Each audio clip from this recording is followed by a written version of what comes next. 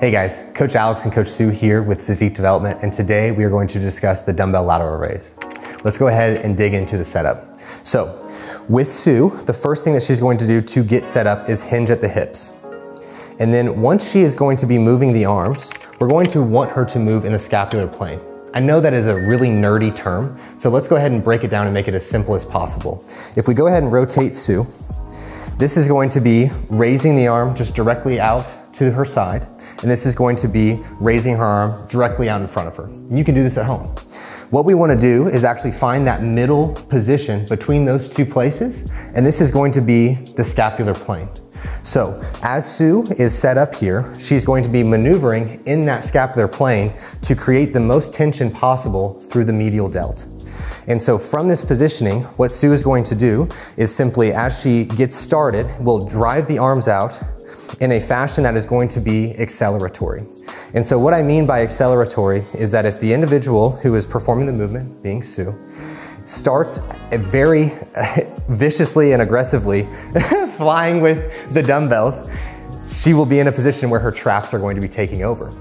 By starting in an, a slow pace and beginning to accelerate, what's going to happen is that the medial delts will move into a more biased position and the medial delts will be doing a majority of the work. So we'll be able to see more delt gains as a whole. So Sue is going to go ahead and grab the dumbbells and showcase some of these repetitions for you with actual weight.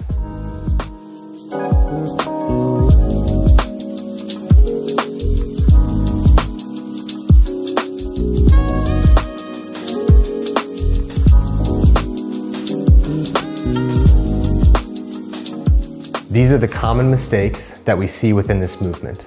The first one is going to be hand positioning. The individual is going to be leading with their thumbs and putting their anterior delt as in the position where it's working the most, as well as putting their rotator cuff in a very compromised position.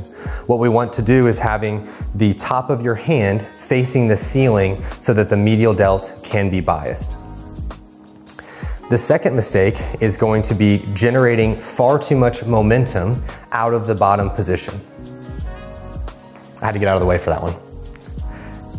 What this is going to do is going to cause the traps to take a majority of the load. And once it's already initiated and created that momentum, the medial delt is not going to be doing a whole lot of work. The third mistake is going to be pulling back rather than pushing outward with the hands.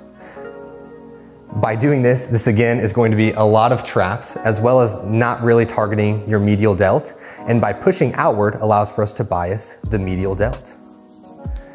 The fourth and final mistake that we commonly see is going to be bringing the dumbbells out in front of you and feeling as though that they have to touch with every single repetition.